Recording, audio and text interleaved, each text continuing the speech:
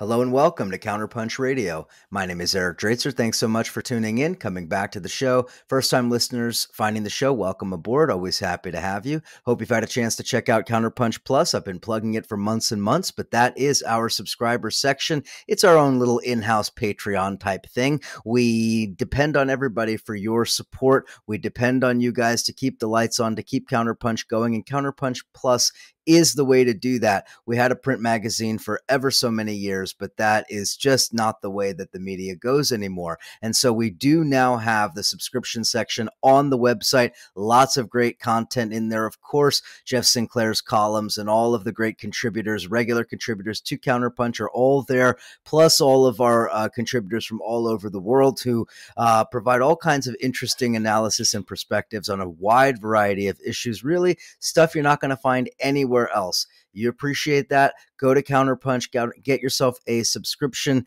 Please do say that Eric sent you, or don't, because no one will ask you that question.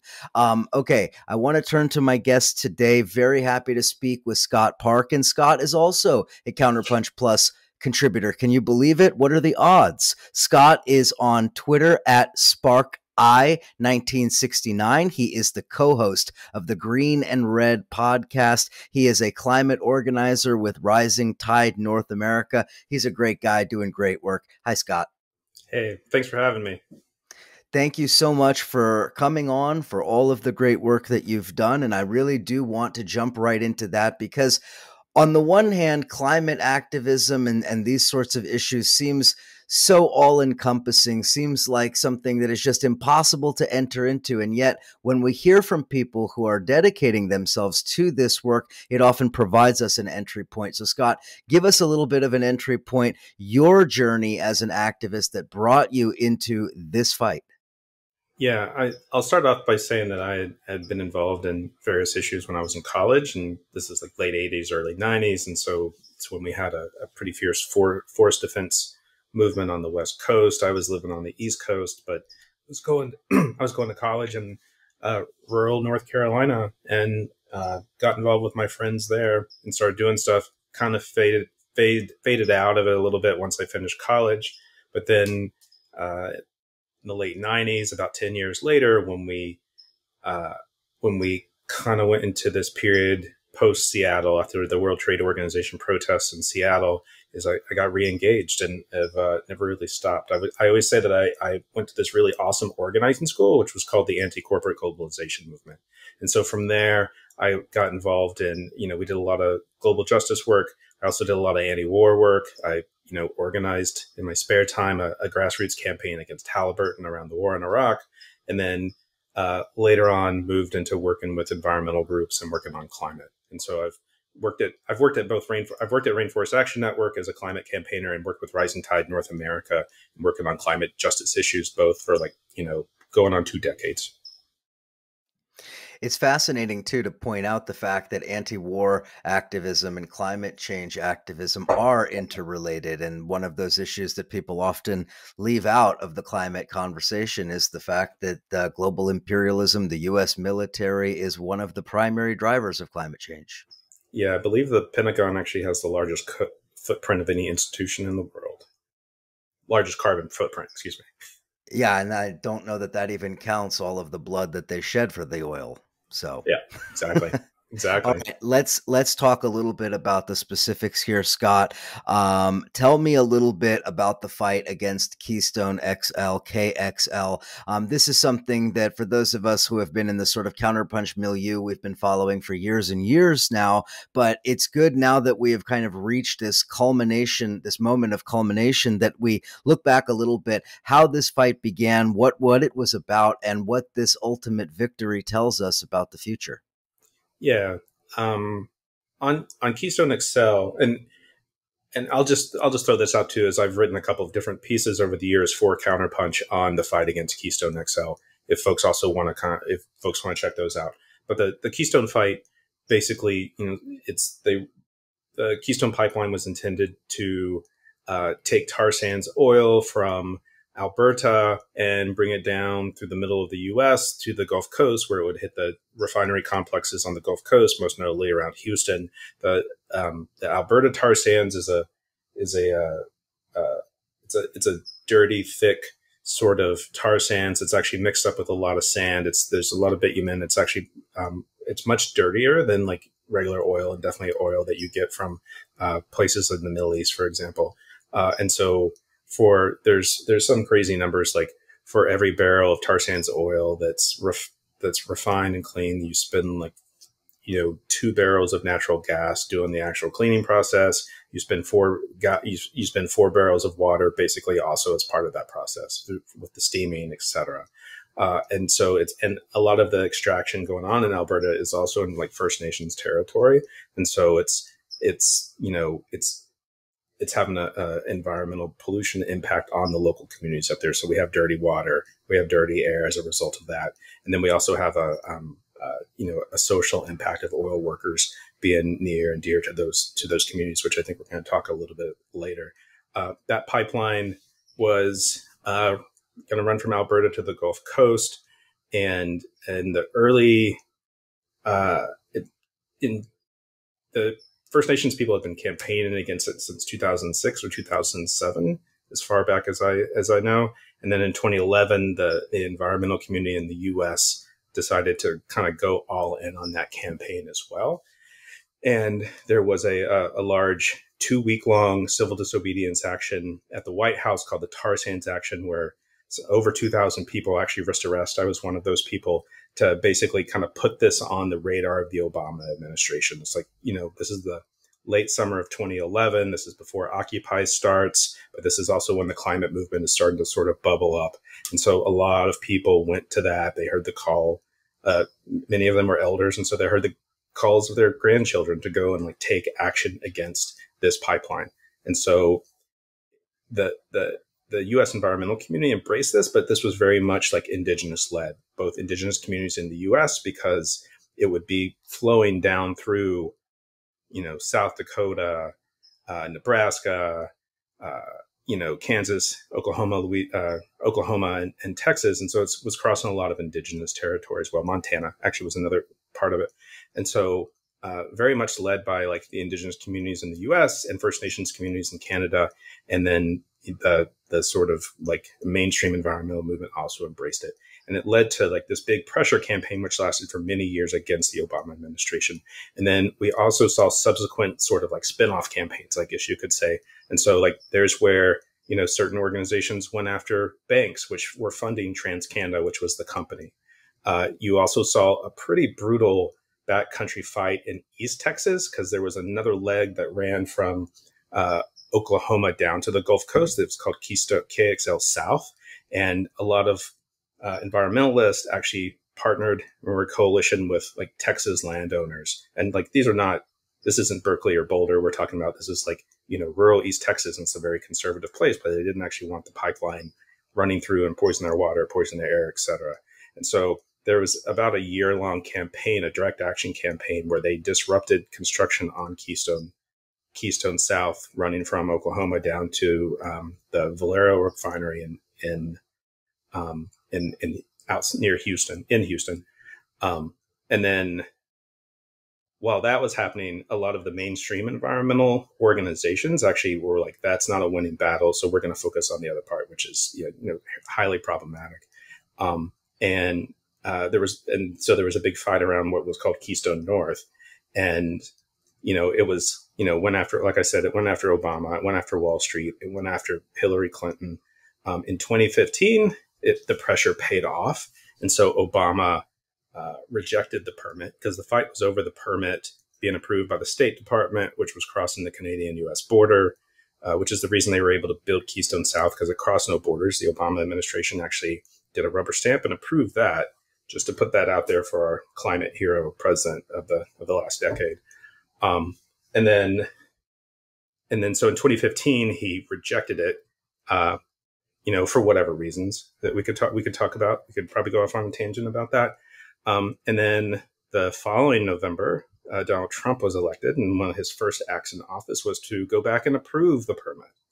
And the during that period a lot of organizations you know environmental organizations indigenous led organizations actually fought it in court and just kept appealing it and appealing it and, you know, taking it to like various channels of government, all the while while we were preparing for a sort of like direct action campaign against against the pipeline. But then Trump lost. Um, they never got Keystone off the ground uh, because there were so many legal challenges and for lots of other reasons. Biden comes back in, takes the Trump's approval of the permit back, and then uh, I believe it was last month, end of June, early July. Oh, excuse me, it was the beginning of June. Um, TransCanada, which has also changed its name to uh, TC Energy, which I always feel like it's a it's a, a victory uh, that we have like so toxified a corporate brand that they t- changed their name. Uh, but TC Energy basically said that they no longer saw the project as viable and they canceled it.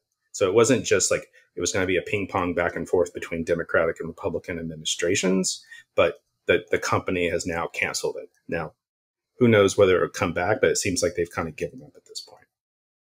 That was a long winded no, that's good. That's okay. what we're looking okay. for. No, no, no. That's exactly what we're looking for. But I want to get into a little bit more about how this happened, and specifically in in um, something that you've written about how the struggle against uh, KXL was in many ways really this collective struggle. You even wrote about some of the indigenous elders who spoke about this when, you know, sort of uh, speaking about the victory over this pipeline and speaking about how this really was a collective effort. You already mentioned a little bit about, you know, the sort of uh, disparate forces from indigenous elders to East Texas landowners, but talk a little bit about some of the other constituencies that got involved in this struggle and some of the other groups, organizations, or anything else of note. Yeah, I, I would say that the the radical environmental community also embraced this. You know, in the in the 1980s and 1990s, we saw this radical forest movement, which fought logging, old growth logging. You know, this is the Earth First, Judi Bari sort of scene. Uh, very much uh, uh, the the um, the descendants of that movement took up fighting pipelines in the late 2000s into the into the 20 aughts or whatever it is we call it. And so like the fight in East Texas, for example, was like both conservative landowners as well as like this more radical environmental element. And so we saw like there was like a 80 something day tree sit blocking the blocking the Keystone pipeline. Uh, there was this sort of wave of just constant disruption with the goal of uh, slowing down, slowing it down, costing them as much money as possible. Uh, and the way and, and the disruption was daily, every other day, sometimes weekly, people would go and chain themselves to equipment. It would be half a day of lost work for the company. It would sometimes be a full day of lost work. And so it was just like this sort of constant pounding. And then also like outside of, you know, that frontline area, we also saw um, a lot of people taking action activity at federal buildings to kind of put the Obama administration on notice. We saw a lot of people taking action at the banks, which were the big funders. And so like these like sort of frontline direct action, pressure on like, you know, federal politicians, and then definitely pressure on the corporate sector, particularly Wall Street, have all been like sort of kind of key ingredients to these pipeline fights. And so, and we can say that about Keystone, we can say that about Dakota Access Pipeline, we can say that about the current fight against Line 3, we can say that against about the fight around the Mountain Valley Pipeline going on right now in Appalachia. And so it's it's it's a really kind of important piece to say that this sort of like we're, we're shifting paradigms here. We're making flashpoints where it's a it, in, in some ways it's like very much like the kind of Martin Luther King sort of strategy in the civil rights movement where you know we want to do direct action and we want people to uh, we want to gain notice of middle America who are going to put pressure on you know, and I actually don't think this stuff really works when it comes to Republican administrations, but like we are going to put pressure on Democratic politicians, whether it's federal or state level, and just like really hold their feet to the fire with this. Very, and it's very similar strategy to what King did around, you know, uh, around civil rights, voting rights, that sort of thing. There's much more to say about all of that, but since you already mentioned it, why don't you just take us in to a, a little conversation, a little background about Line Three? What is Line Three? Where does it fit into the broader, uh, you know, uh, geographical map of these pipelines and so forth? And why is this now the front line of the struggle? Yeah, I, there were there are a, number of, of tar sands pipeline. There, there are actually five pipelines, I believe, that cross the U.S. Canadian border from Alberta and I, can't actually name all of them, but Keystone's one of them, and then the Enbridge pipeline is another. And so Enbridge has multiple lines, and so there's a line three and there's a line five. Uh, line five is actually being fought in Michigan right now, not with necessarily direct action, but the governor has actually ordered Enbridge to stop construction on line five. Line three, so Michigan's Democratic Governor uh, Gretchen Whitmer. In Minnesota, Democratic Governor Tim Walz has actually approved all of the permits. And line three is a pipeline. It runs probably three or 400 miles. It runs from Alberta uh, down through Minnesota to Wisconsin uh, to you know endpoints on the Great Lakes. Uh, has the has the carbon footprint of about 50 coal-fired power plants. It crosses uh, it crosses like indigenous territory, violated actually a number of treaties which were signed by the U.S. government and indigenous nations.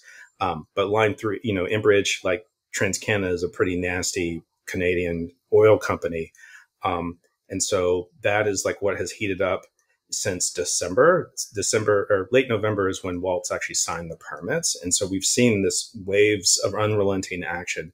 Uh, to date, over 500 people have been arrested. They, you know, people got arrested yesterday fighting line three. It's a, it's a daily occurrence at this point. And it's not just like people doing a sit in at a congressional office or people doing a protest outside of a bank.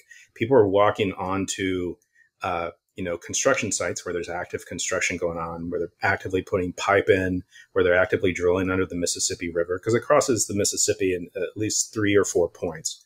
Um, and people are like locking themselves to that equipment. There's been at least two lock-ons to drills drilling under the mississippi. Um, this is indigenous led it's indigenous women led people like winona laduke and tara houska um, are these like you know are these are, are these figures who are leading this struggle. And it's it's it's really it's um what I'll say is it is become like a um it's a militarized hot zone there. And so to be up there i was just up there last week and to be there it's like you're under constant scrutiny and constant surveillance of the police. Enbridge has actually created a slush fund which was reported on in the intercept to basically put lots of money for equipment into these police into these police forces they've created an interagency task force, which is local, county, state, federal, and Enbridge. And so they said it's to buy them, you know, PPE equipment, for example, but it's actually really to buy like riot gear or pay them for overtime, things like that. And so it's like Line 3 has become a hot zone. It's very militarized. Last week, the, the police tried to barricade in one of the camps, let no vehicles in and out on the day that they started drilling under the Mississippi. Um, and so it has um, it's, it's gotten really ugly. I, I would say they, they, the most recent, you know, round of charges, they actually charged something like 24, 26 people with felonies, like a kind of made up, uh, made up felony of saying that's theft to occupy a piece of equipment because you're robbing the owner of his, you know, ability to make a living, that sort of thing.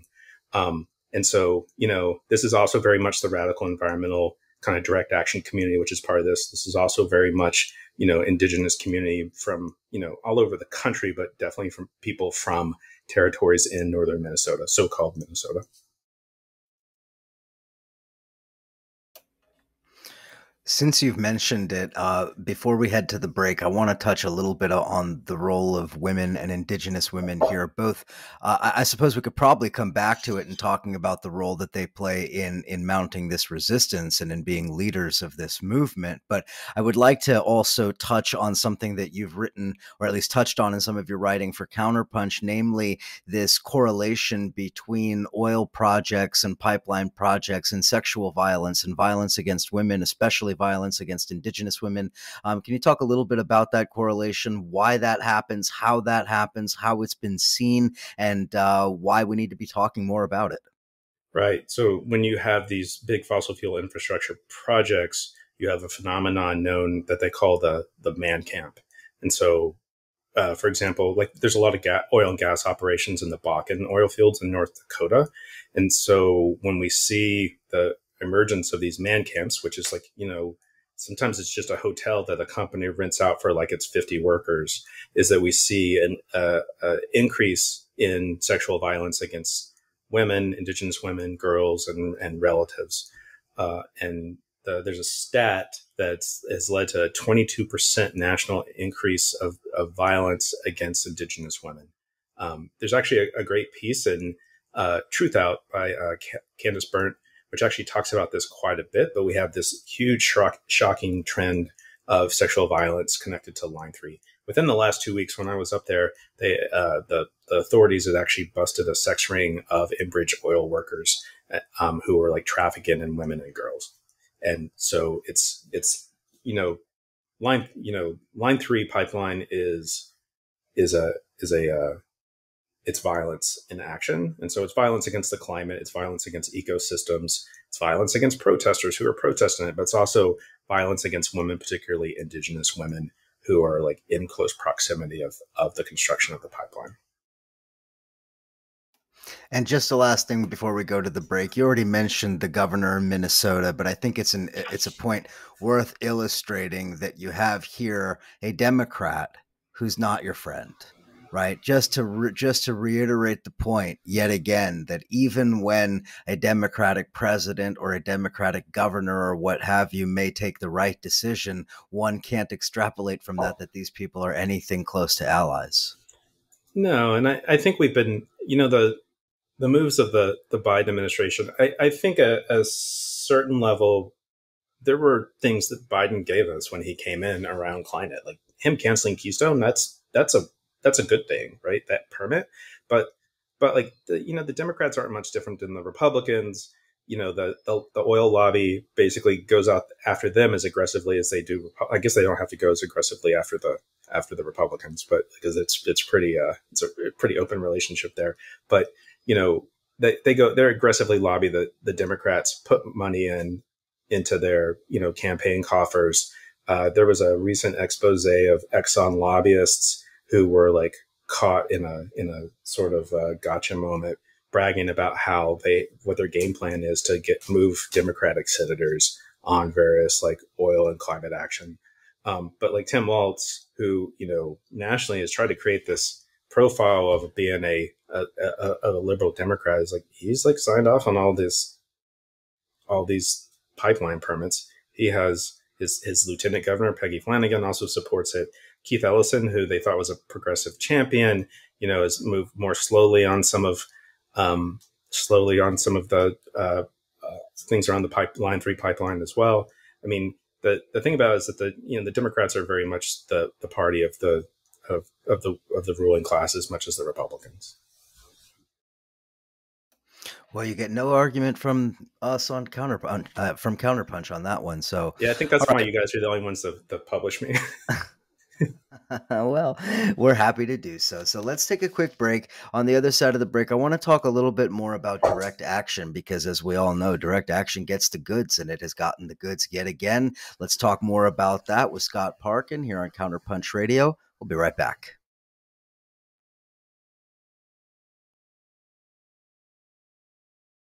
And we're back chatting with Scott Parkin here on Counterpunch Radio on Twitter at Spark I 1969. Uh, the podcast, the Green and Red podcast, do make that part of your normal listening rotation just next to Counterpunch Radio, of course. Now, Scott, um, I want to ask you a little bit about direct action because it I want to leave some of the tactics and things uh, for a little bit later. And I want to talk about how the movement you yourself, of course, but the movement broadly, how it's targeted. What are some of the ways in which state repression, uh, at which is in turn corporate repression, how has that been brought to bear against activists who are fighting this fight?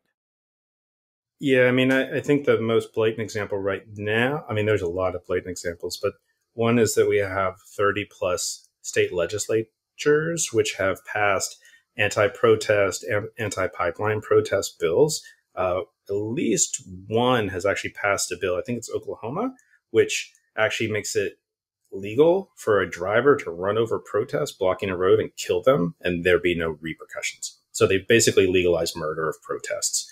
Uh, that's in a number of the other bills too. I believe Oklahoma, last I heard, was the only one that where they had legalized it.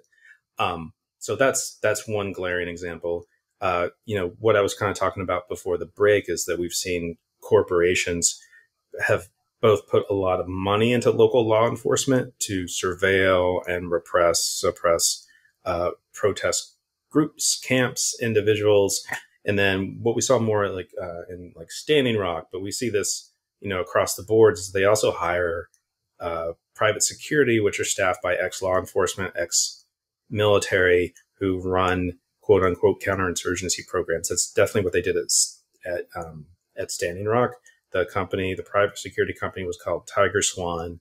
The the pipeline company was called ETP or Energy Transfer Pipeline, uh, Energy Transfer Partners. Um, and then the other one I want to say, which is also the one with the they're looking with the effect of of quieting protests, is actually civil litigation uh, or SLAPP suits, strategic lawsuits against public participation, which is you know we've been seeing since the anti-nuclear movement of the 70s and 80s, and so definitely individuals, but also organizations like big name branded or environmental organizations, which have been part of like the resistance in whatever capacity they play, have been like in many ways silenced by fear of SLAPP suits. ETP did a, a billion dollar SLAPP suit, which named Greenpeace and a number of other organizations as uh, as defendants that were costing them lots of money, uh, and so they've used SLAPP suits to um, to to silence dissent as well. Um, or at least attempt to. I mean, I don't want to comment on whether it's working or not because I, I do still see a lot of groups doing a lot of stuff. But it's like kind of like it's a it's a very scary thing between especially the anti pipeline legislation, anti protest legislation, and then also the the the uh, SLAPP suits plus and then the state police the police state.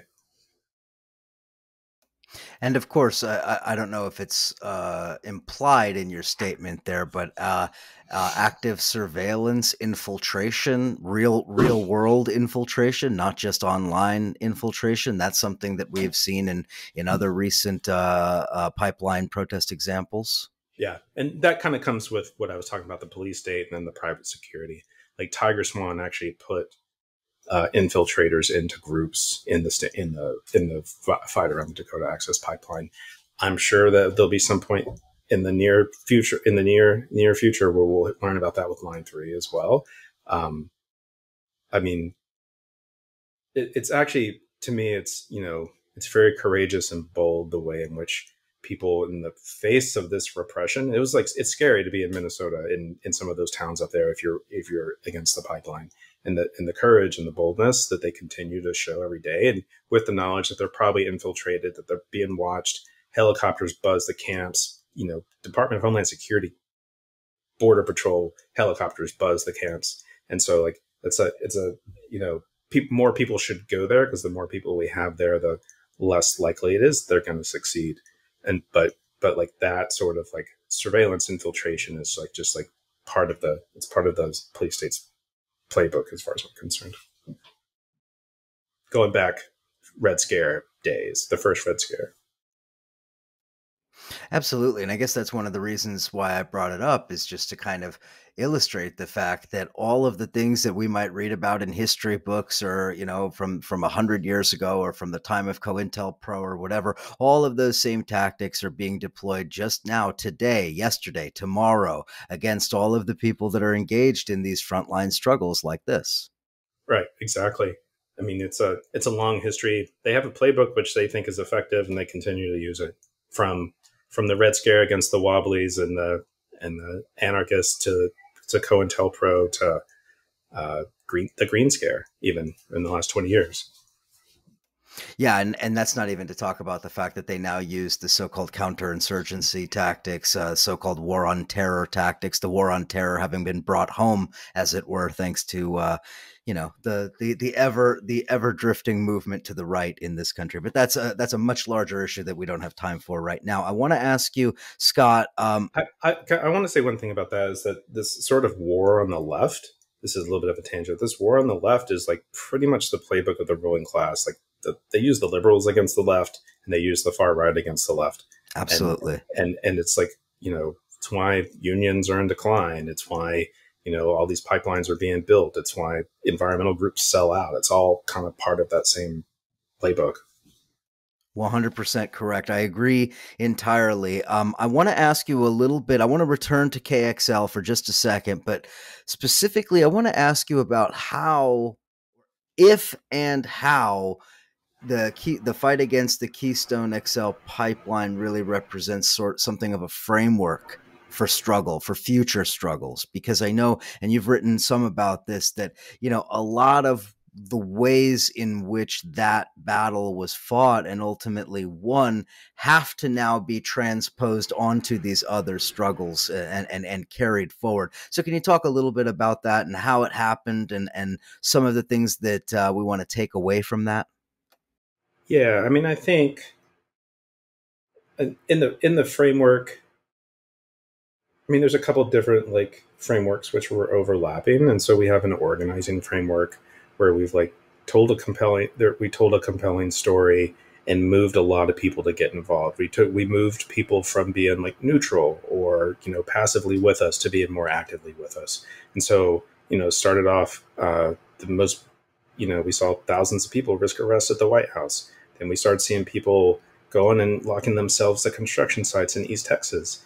Uh, and so that sort of like organize that organizing framework is that like we are that no one's going to do this but us. Obama he he greenlit the the the southern leg of the of Keystone, right? He's he's not going to do anything without our pressure, and so like our organizing framework is basically how we build pressure, how we build power, and how we put that onto these politicians who are supposedly with us, but they're really not, right? You know, little I put that in brackets, um, and so that's that's one important framework. I, I feel like a, another is this sort of um, is this is a is a narrative framework where we're telling a compelling story, which is going against the uh, which is going against the the mainstream or what the politicians and the mainstream media is telling us. Is like you know we're mounting a resistance and we're able to kind of push into this narrative and tell a different story through our organizing, through our action. And then then I think the other piece is um, I, think is the sort of strategic political framework where it's like these are the buttons that we need to push. Like we can do all the actions we want against a, against a pipeline company, but that's why they exist. So we need to find out what the other political buttons are we need to push, whether it's Obama, whether it's banks, whether it's some, you know, arm, other regulatory arm, etc. And I think all those overlap to create a sort of perfect storm within the within the Keystone XL pipeline fight. I feel like that also happened with Dakota Access. They still built that pipeline and, and gas and oil is still flowing through that but like we so with Dakota Access, I feel like more than anything else, we shifted. We we took that we we exponentially grew that framework that we had used on Keystone. Like ten thousand people occupied at Stand Rock, Standing Rock fighting that pipeline, it, and it has that has terrified ruling class oil companies, politicians. They don't want another Standing Rock, which is why I think they're trying to actually clamp down so hard right now on Line Three.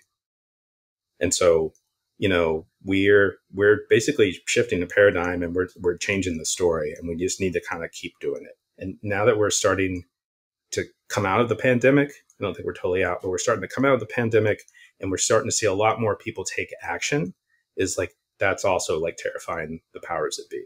And so that's why I also feel like they've locked down northern Minnesota. Or trying to. They're not really done it yet because we still are doing actions every day, but they're trying to. You mentioned Standing Rock. Standing Rock is a uh, is an entry point for a lot of people, especially young people who have just come into some, uh, the fight and some of these issues in the last few years. And I wanted to talk a little bit about young people with you here for a second, um, primarily because we've talked uh, on this show about the centrality of young people in leadership roles eh, vis-a-vis black lives matter uh, uh, confronting police violence white supremacy all of the things that happened in the wake of the floyd rebellion and so forth and youth leadership being such a central aspect of all of that. So i wanted to ask you about the role of young people in the fight against the pipelines young indigenous folks especially. Uh, i know they really are playing such a key role.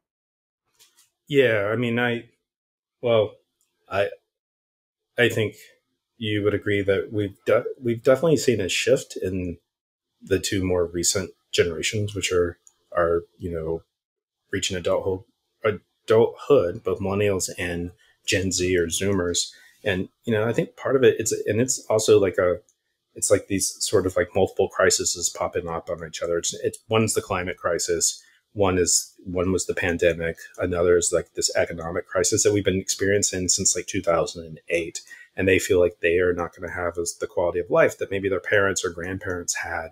Um, I, the, I'm really terrible with the numbers, but we've like seen an increasing number of people in the country who say there's big problems with capitalism. Socialism is not as bad as like the boomer generation told us, right? We, we and we saw big support in those younger groups around the Sanders campaign, for example, and whatever. I can like complain about Sanders, but like I think that the kind of organizing and narrative like framework around that is also the same thing that took us from Occupy to Ferguson to Standing Rock to a lot of stuff around Trump into like and then the Floyd rebellion. And I think that that it's youth who are leading that and it's youth who are really core to that. And that's actually a really I mean, there's a lot of every George Floyd protest I went to in the last year, every line three protest I've gone to in the last year, two years. It's all multi generational, but the like the sort of vibrant energy on the street, and I'm I consider myself a street organizer, is being led by these like younger generations. And and we're we're seeing like the, the reason they're passed, in my opinion, the reason they pass anti pipeline protest bills, voting voting suppression bills in red states and things like that is that they know that and the writing's on the wall and they are screwed. As long as we're able to channel it and win. Who, but who knows? Because they have a lot of things at their disposal. And speaking of those in leadership in the resistance, I wanted to just ask you a little bit about Indigenous leadership uh, in this movement, particularly in light of just how uh, ravaged these communities have been by COVID. Um, uh, so many, so many have, uh, you know, so, so much knowledge has been lost so many lives have been sort of sacrificed for lack of care neglect lack of access all, all of the reasons that we could you know probably don't have time to go into but i just wanted to ask you a little bit about the indigenous uh, uh, leaders in this movement and how covid has impacted indigenous participation and or just impacted this struggle more broadly. I mean I, I can't speak to this like really directly, and I don't want to pretend to know or, or be an expert. I, I will say that at least the pipeline fights I'm seeing happen in indigenous territory, First Nations ter- territory on both sides of the border is like very much like a fierce. There's a, there's a fierce resistance there. Um, and I, you know, these are communities which are impacted by like lack of healthcare. They're impacted by poverty. They're they're impacted by systemic racism, interpersonal racism, institutional racism, and and and I, I actually feel like that is um, that is like and, it's some it's some of that hardship and I don't know is is like a is, is is is somewhat of a powerful thing and it's also like a no compromise it leads to a sort of no compromise uh, attitude. And in your recent writings for us at Counterpunch, you described uh, some of the recent direct actions, and it's it's actually amazing because it's so easy to get lost in the Twitter verse or whatever and completely miss just how many amazing things are happening. So tell us a little bit. I mean, you don't have to give us every example, but give us some of the examples of some of the recent direct actions that have uh, taken place. Many of which seem seemingly have been led by Indigenous women, as we were talking about earlier. Yeah, and some of the indigenous, the, the led by the indigenous women and, and many others I'd named before. Um, yeah, and you're not hearing about this on left Twitter or left book, that's for sure. Um, uh, you know, the I've been up there twice in the last month. And so I went up there for like a, a bigger gathering called the Treaty People Gathering, where about 2,000 people showed up. There were two mass actions. Um, one, which was a kind of more prayerful occupation of a Enbridge drill pad on the Mississippi. And it was ended up being an eight day occupation uh, and until they were like removed, they they moved. They were much more cooperative than we saw we have seen in other places. But like 50 people were like cited, you know, by the by the by the sheriff there.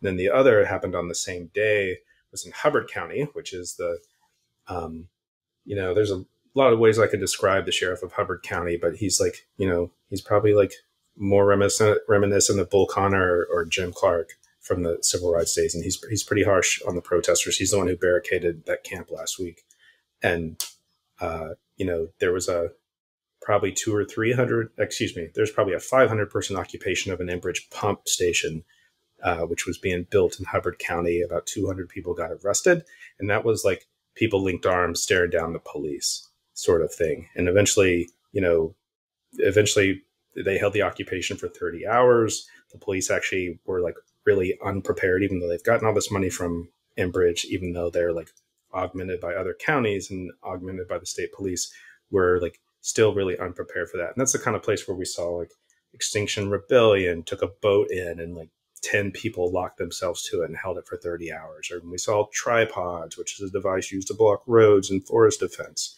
And so, you know, those actions, those two actions, very much we, you know, through the channels and the circles in which I work in, very much got the attention of the the, attention of the mainstream media. They're both New York Times and Washington Post article, which also then led to us knowing that we got the attention of the the Biden administration as well.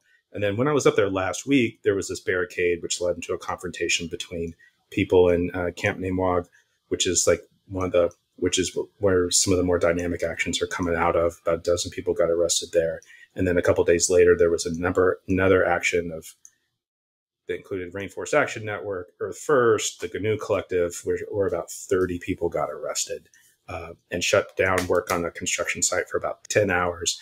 Um, and, you know, that's where the police have come back with these pretty harsh felony charges on probably, you know, four fifths of the people who were arrested.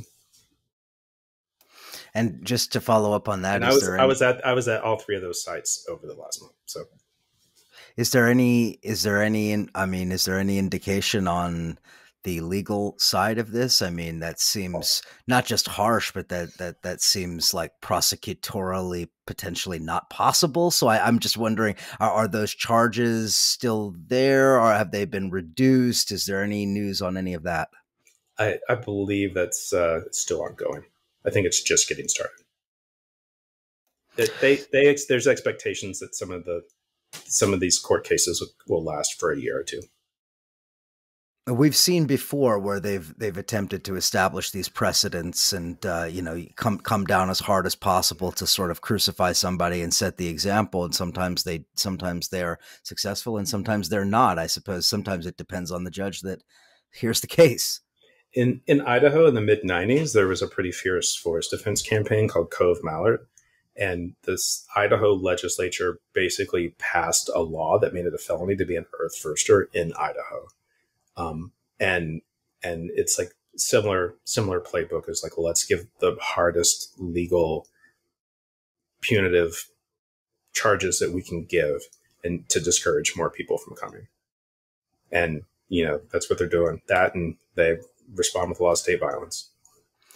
Well, that leads me to, I guess, what would be my last question. Although it's always, I think, the one that I the, the one that I want to hear about the most, and that is when I talk to a veteran activist, somebody who's been doing this for a long time, who's who really understands the uh, you know the the reality of this work. I always want to ask the question of what you want to say or impart to young people who are listening, who are watching, who are maybe motivated about uh, getting involved on these issues, but don't know where to, how to, uh, where to apply their energies, or even whether it's worth it, considering the monumental scale of all of this and how much easier it is to just be cynical and go somewhere in a dark corner and die. Yeah, and cry, cry, and give up. Right. Um, I, I well, one I would say is that definitely based on what we saw with Keystone is that we can make a difference and we can actually stop these pipelines. It's never too late. And if, you know, maybe we won't win on, maybe we'll win on line three and maybe we won't, but there's going to be, you know, there's more fossil fuel infrastructure fights ahead. We have many more. We, I would tell people to, you know, get educated, get involved, go, even if you're going to a protest in your neighborhood in front of a bank that funds these pipelines, you know, that's a great place to get started. Um, there's, uh, uh, the, there's a couple of websites if you're actually interested in going to Minnesota itself. I believe it's like stopline3.org. And then there's another one, which is Winona LaDuke Honor the Earth, and it's called Welcome Water Protectors. Um, and so those are a couple, those are a couple places to get plugged in. Uh, I'm Rising Tide, the one of the groups I work with. We have a every other week we have a, a virtual training for people to um, learn about nonviolent direct action and figure and find out how to go to Minnesota if you want to check out Rising Tide North America.org. Um, but like there's there's plenty of hope out there, and I know that's a I, th- I don't think that's a, a, popular thing to say. And like there's a lot of scary stuff going on right now. Like Gulf of Mexico is on fire, 110 degree temperatures, and in you know the Pacific Northwest. But like we're we still have a fighting chance. And if and and maybe I'm wrong, and maybe we don't, then we should also just like make the people who are making a lot of money off this as miserable as possible. That's a that's the alternative. You know, that's the that's my dark side saying that.